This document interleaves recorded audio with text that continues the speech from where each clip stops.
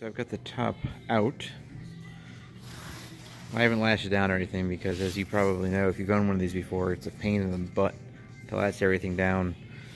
Most people who own these cars don't use the top. Um, and this top's in, this top's in great shape. It just needs to be stretched because it probably has never been used as a top. So, as you can see, no rips, no tears. Everything's good. Like I said, this this all, this all needs to be stretched out.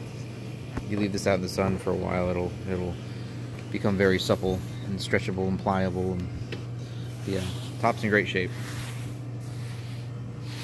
Nothing. No fading. So yeah. Like I said, I don't have it latched down. So let me know if you have any interest in it. My phone number is 757-707-3030. And my name is Rory Samson. Thanks so much.